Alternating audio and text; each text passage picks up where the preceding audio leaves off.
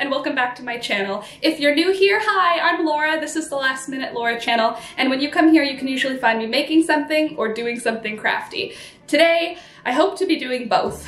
This video is going to be a little bit more of a vlog style, make-along, handmade, sort of vibe. I'm going to be doing a whole bunch of food preservation, but I'm also going to be including some natural dye work. I'll probably do a bit more hammering, some flower pounding into fabric as well today, and I'm just going to bring you along with me as I sort of go through the next few days of doing handmade stuff. So if that sounds cool to you, don't forget to click the like button and subscribe. Let's jump into the video. First though, have to deal with this kitchen. This morning I put a whole bunch of parsley into the dehydrator. I also sliced a melon from my mom and dad's farm and put it into the dehydrator. So I have to clean up the kitchen first and then we're gonna get into, I think we'll put the parsley away first. Oh my goodness, that took way longer than I had planned. Oh, the dehydrator's on. Let me bring the dehydrator over and we can put the rest of the parsley into the jar. So I didn't grow enough parsley to preserve, but I went to my parents' farm and my mom had a huge container of parsley, so I took some home. And it's probably gonna be enough for at least quite some time. I don't know how long this will last, we'll see.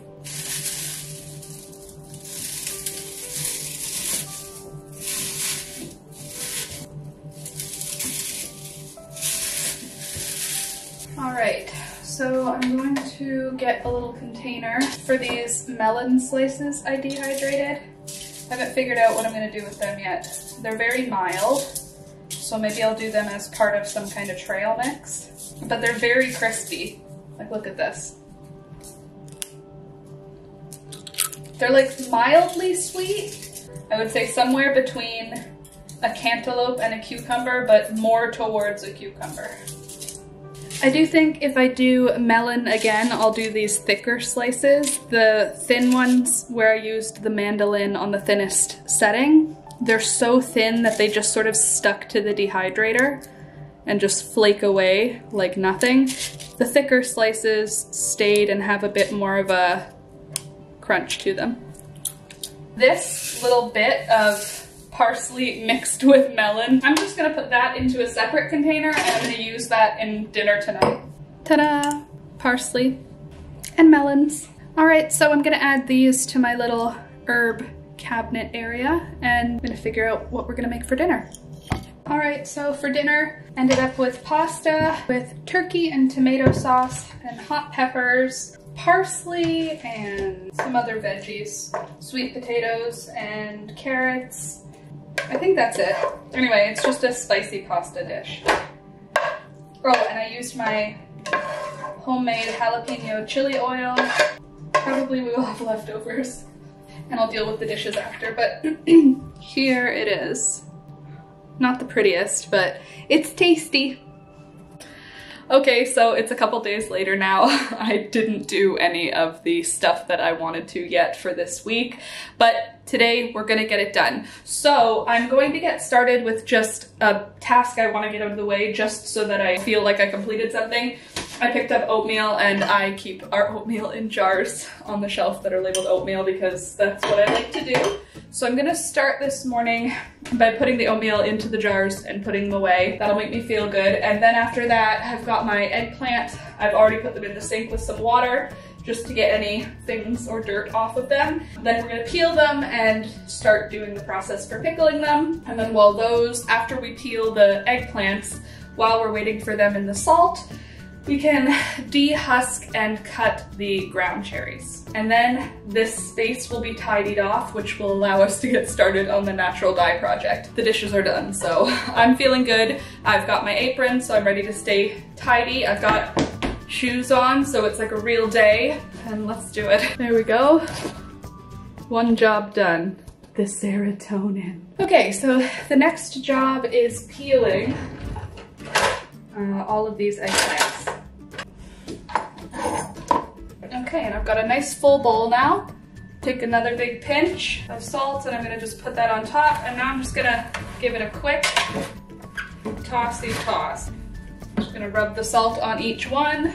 Now I'm just going to put some saran wrap over these And then I am going to put them in my oven just to stay out of my way. The oven is obviously off, so I'm not going to be heating them at all. This is just to keep them out of the way because they need a couple of hours just sitting at room temp.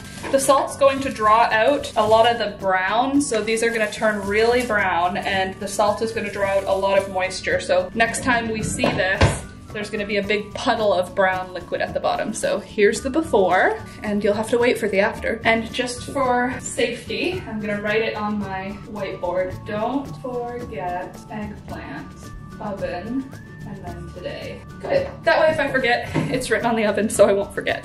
All right, next, I've got these ground cherries that need to have the husks pulled off of them.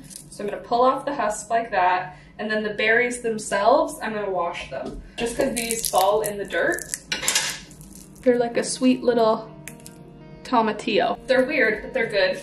I prefer them dried. Anyway, I'm gonna peel all of these and then rinse them and then we'll get on to the next step, which is chopping them up and getting them into the dehydrator.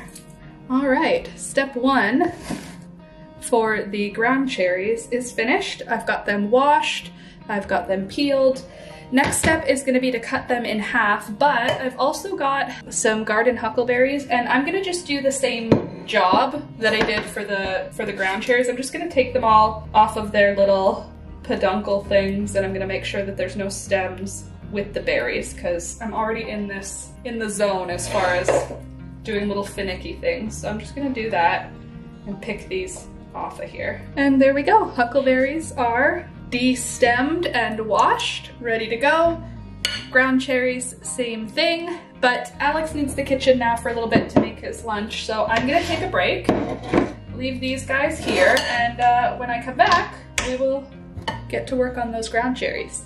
Okay, so I've filled up the pot with water and I'm going to add a little bit of dish soap to that. Then I'm going to add my yarn. I have a skein of Briggs and Little Regal Woolen Washed White and a skein of Knit Picks Merino style wool. And I think this one's called Natural White, but I'm gonna put those in. And I'm just gonna turn the heat on low and let that sit in there with the soap and the yarn for about an hour. Actually, I'm gonna put a timer on. Okay, now I am going to take the ground cherries. I'm gonna cut them in half, but not all the way through. And then I'm gonna put them on the dehydrator trays.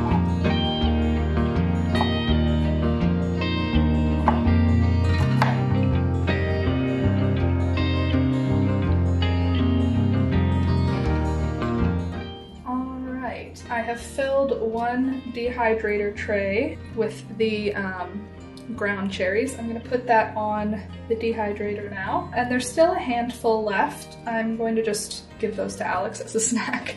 But there are the uh, ground cherries going in the dehydrator. Snack level expert. Grapes, ground cherries, apples, peanut butter mixed with vanilla yogurt for dipping tasty and healthy. All right, the timer just went off for the yarn. So I am going to take the yarn out now and we're going to do the mordanting process. This was the scouring process.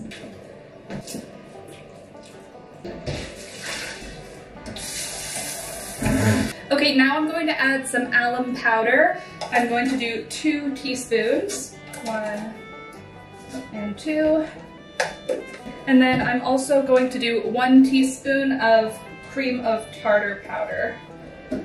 The alum is the mordant and the cream of tartar uh, supposedly helps to soften the yarn after um, the pre-mordanting process, which roughs it up a little bit. So that's, that's what's happening now. I'm gonna fill up the pot with water and then we're going to rinse out the yarn and add it back to that pot. So if you're new to natural dye, the scouring process for the wool, that's what we did with the dish soap by heating it up and letting it soak in dish soap. That's essentially just washing the wool. It's getting off all the oils, the lanolin, any dirt or grime, and just preparing the wool to accept the next stage in the dye process. And that next stage in the dye process is the mordanting. This is the process to attach a binder onto the wool that will hold on to the natural dye really well. So the natural dye can bite right onto the wool, but over time as you wash it, as it gets exposed to the sun, it'll wash out or it'll fade. If you pre-mordant the fiber, it creates a stronger bond between the pigment and the wool um, so that the color will hold on longer, if that makes sense. So I'm just gonna rinse out this yarn now and then we're gonna add it to the pot.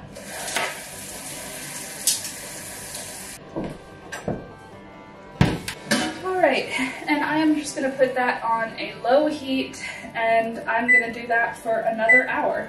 And I'm done with these. What are we gonna do next? While we wait for the yarn, I am going to get a plan in place for these hot peppers. I think I'm gonna do another hot sauce. Okay, so the brine is boiling. I just turned the heat off and we're just gonna let that cool down to room temperature before we're gonna pour it over these peppers and garlic. All right, so not quite a full jar, but that's okay. We'll just have the brine come up over these veggies. So I've got some red peppers, some green chilies, some jalapenos, a couple of habaneros in there, and a bunch of garlic. I just have to wait for this brine to come down a little bit. It's just really hot right now. It's just hot, salty water. As soon as it's a little bit cooler, I'll pour it over these uh, peppers and then we'll pop a lid on it loosely. Okay, so here's my brilliant plan. I have the bottom of like a plastic container. I'm going to take some saran wrap and I'm just gonna cut a hole slightly smaller than that opening that I cut out of the bottom of this thing. It'll work. I think it'll work. It's gonna be fine. Okay, and then I'll put that saran wrap into the yogurt container. Okay, good. And then I'll add a little bit of water to that yogurt cup edge. And then when we put the lid on top, yes, it'll dip into the water and keep a seal, but it won't have to be a tight, tight seal. Good, I think. Have you cooled down enough yet? I think it's cool enough. So I'm just going to pour it into the jar. Now I'm going to use this plastic bottom from that yogurt container that I used for this lid MacGyvering and I'm gonna put it on top of the peppers inside the jar. And I'm gonna just push it down and it's just gonna keep all the peppers underneath the water. So now I'm gonna just get a clean teaspoon and I'm gonna scoop off the, the pepper flakes that floated up so that it's just clear brine on top. Okay. All right, I've got this clean plastic lid. It's a resealable lid. I'm just gonna pop it on top. I'm not pushing it down uh, and I'm not sealing it. I'm just putting it on top. And the edges of that yellow lid are sitting in water. Does that make sense? It's like a very poorly MacGyvered fermentation lid. Uh, you could just put a lid on loosely, but I'm gonna do this way because it looks uh, interesting. And now I'm gonna put this underneath my um, cupboard and that'll sit in there for, I'll check on it every couple of days, but it'll sit in there probably two weeks. Now I'm just gonna clean up my mess and then we can rinse out the yarn and get ready to do the dye pot. All right, we are gonna turn the heat off on the yarn and rinse out the mordant. Okay, so now that the big pot is free, we can get the dye bath started. I am going to pour all these beautiful marigolds that I picked at my mom and dad's house uh, straight into the pot and we're gonna get that on the stove onto, uh, I think I'll just do a low heat again and we'll do an hour and see what happens. So let's do that now. Okay, so that is gonna sit now for an hour. So I'll put the timer on and in an hour I'm gonna add the yarn to the dye bath. So I'm gonna just let the yarn sit in the sink for this hour. Then I'll rinse it on hot water one more time before I put it back in to the dye pot. So I'll see you in an hour. And here is the eggplant. It's been a couple of hours since we've dealt with that. Look at that. Isn't that weird? And that we're probably gonna get like three times as much as that. Now I'm gonna rinse these eggplants in some cold water. Okay, and now we're gonna do the salt thing again. So I'm gonna get the salt and I'm gonna put a little bit at the bottom. And then I'm gonna layer in the eggplant, salt, eggplant, salt, eggplant again. All right, and now I'm going to put the saran wrap back on these eggplants and I'm gonna put them back in the oven where they will sit for another few hours. Again, the oven is off, just keeping them out of the way while I do other stuff. Okie dokie. So there's still 45 minutes, so see you in a little while. There we go, there's the one hour timer, and here is what that dye bath is looking like. It smells so good. Uh, now we're gonna put that yarn into the dye bath. So let's do the Knit Picks one first. I'm just gonna put that right on top and we'll just let those sit together. And I'm gonna keep that on a medium low heat. I don't want it to simmer or anything, but I'm gonna keep it on a medium low heat for another hour. Oh my God, look at how much it's already turning yellow. Look at that color. Can you see that? It's like a highlighter, look at this. In just a second in there. Oh, that's gonna be great. Cool, that's a really pretty color. I think we're gonna definitely have to do some tie-dye on that. So I'm gonna do another one hour timer and then we'll turn the heat off on that one. Timer went off. The yarn is ready to come out of the dye bath. I'm gonna just bring the pot over to the sink. Oh my gosh! Oh, it's so pretty. I'm gonna grab the other skein and just put that right in. And now I'm gonna put that on the heat for another hour. But let me show you the color. Are you kidding me? Isn't that so pretty? All right, it's just gonna sit in there for a little bit. Okay, so the timer just went off for the yarn. And let's see how, oh my goodness, it looks so pretty. Isn't that pretty? That is so pretty. So now I am going to take this dye pot over to the sink and take the yarn out, put it with the other yarn. Oh my gosh, it's like school bus yellow. And I am not done with this dye pot yet. So I have a little cotton top that I made. I'm just gonna throw that in. I also wanna see what happens if we over dye without over mordanting before over dyeing again. You're supposed to mordant before you dye even if you're dyeing a second round, but I'm not gonna do that. I'm just gonna throw this fabric in. This is what we did on the last video. And same thing with this shirt. I'm just gonna toss that in as well and give it a little while in that dye pot for another hour. And while those other items sit in the dye pot, I am going to leave the skeins of yarn in the sink and I'm just gonna make some rice now to go with the spaghetti squash that we're having for dinner. There's supper. This one's Alex's. It is a half of a spaghetti squash, some rice, and the spaghetti squash is stuffed with beans and spices and corn and I don't know, good stuff. Okay, so it's evening now. The shirt and fabric have been on the stove for a couple hours now, actually. I'm gonna turn the heat off there, and I'm going to get some fabric cut up into strips so that I can tie off some uh, areas of these skeins, because I wanna dip dye it in an iron afterbath, but I love the color, like it's so bright. So I wanna do some like tie-offs to allow uh, the yellow to be visible. Okie dokie, I have tied fabric on both skeins in different spots. So those are ready to go into the color modifier bath. But first we have to take the stuff out of the pot that's in there right now. Okay, so I filled my pot about halfway with water. I have my iron mordant here, and I'm just gonna pour in probably a cup.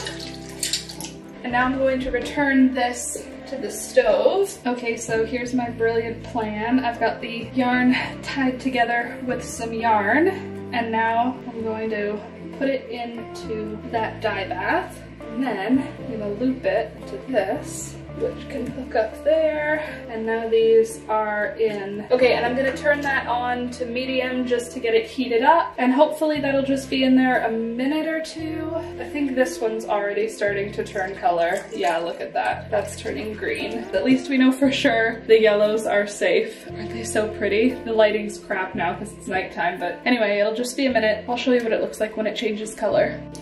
while the yarn does its thing, I'm gonna rinse out these other pieces that were in the dye bath. All right, this one I am going to actually add to the Mordant pot, this shirt, because I am just trying to break this shirt. That's what it's looking like right now.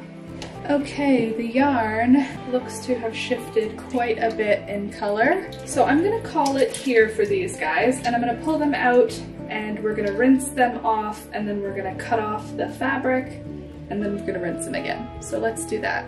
Awesome. Look at that. Isn't that crazy? So cool.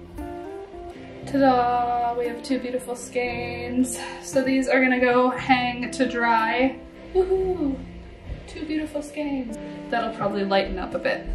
Time to clean the kitchen again.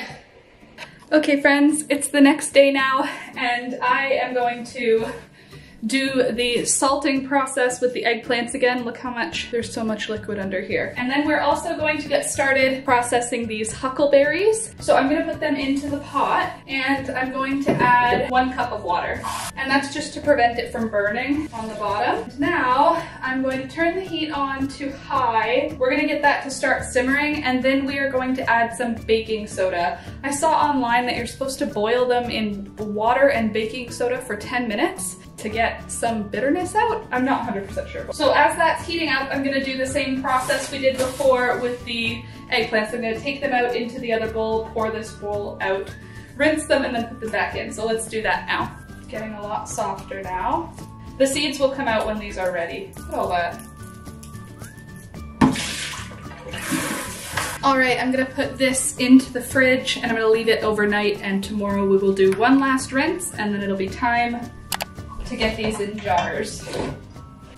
All right, so this has started boiling now. I'm gonna grab the baking soda and we are going to scoop some baking soda in.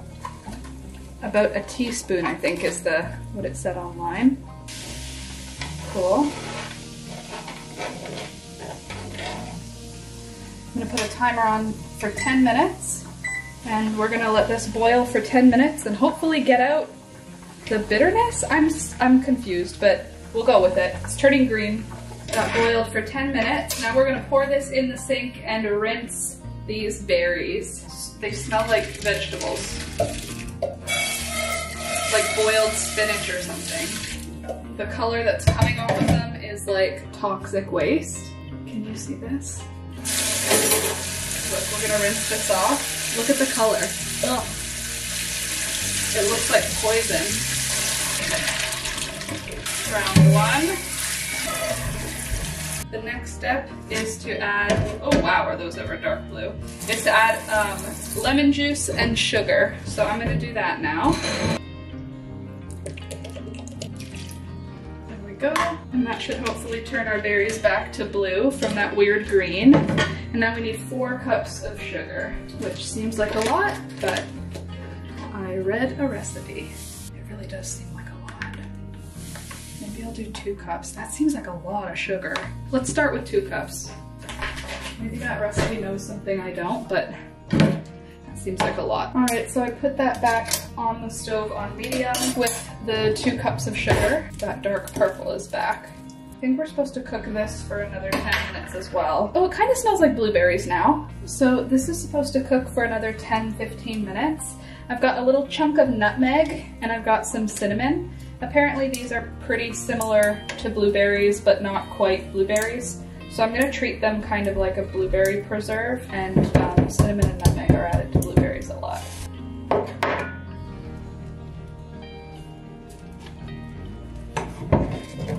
Pretty color. All right, so the recipe I read said that when it is at this point, I should mash it um, because the berries are better when they've been broken. And since I've never worked with these before, I am gonna just assume that that person knows what she's talking about. All right, it's a little while later now. This has had a chance to cool down a bit. The texture has changed, it's thickened up. Pretty jammy, kind of like a thick fruity jam. It smells really good. It smells like blueberries. It's like a blueberry. It's a little different than a blueberry. Maybe there's like a little bit of honey. It's like a blueberry plus honey. It's good. If you don't have access to blueberries, this is a good replacement. I'm gonna let it cool down all the way to room temperature. And then I'm gonna put it in a freezer bag and put it in the freezer and then just take it out when I need it, I guess. It's my plan. Good morning.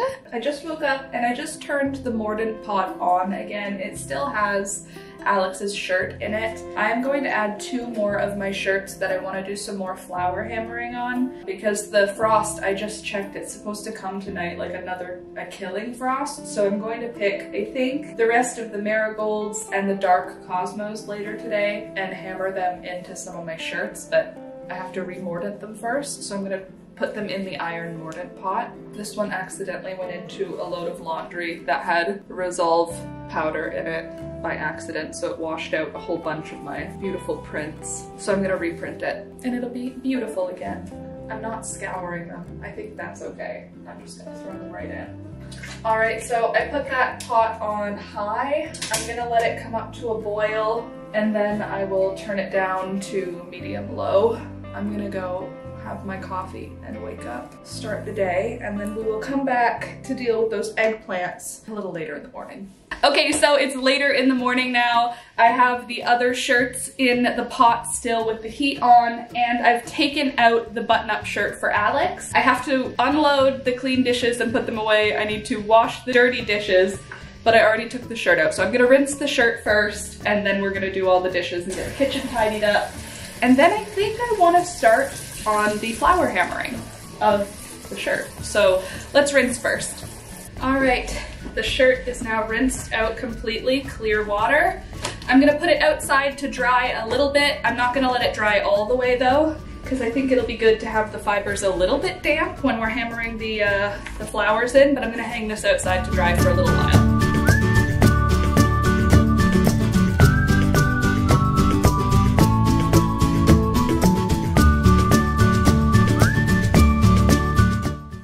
Right, so I got distracted. Now uh, that all of the plants are watered, now I'm gonna do the dishes. So I'm not in the mood to do the dishes yet. So I'm gonna rinse out the shirts that are in the dye pot or in the mordant pot. And then I'm gonna put a little bit more fabric into the pot. I've got some more cotton. I wanna use up as much of the iron that's in there as I can. So I'm gonna just keep putting stuff in it until I feel like it's not doing the thing.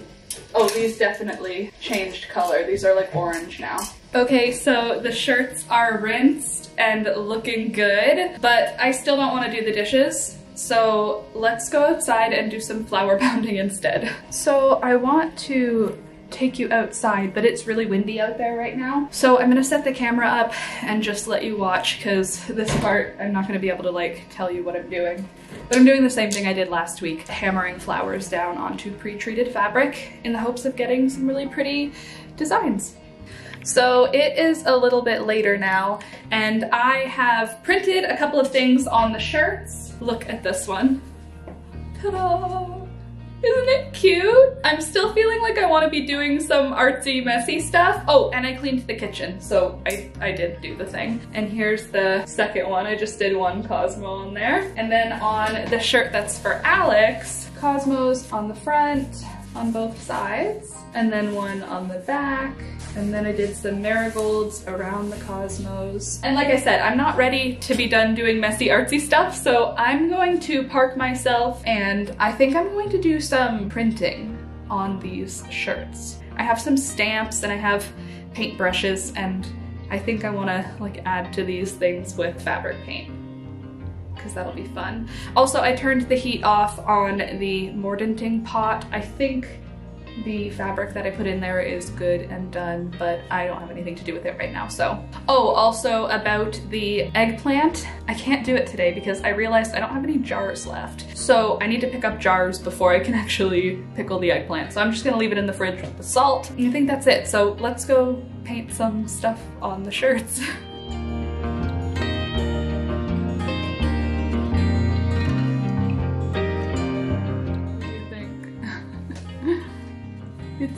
Thunder.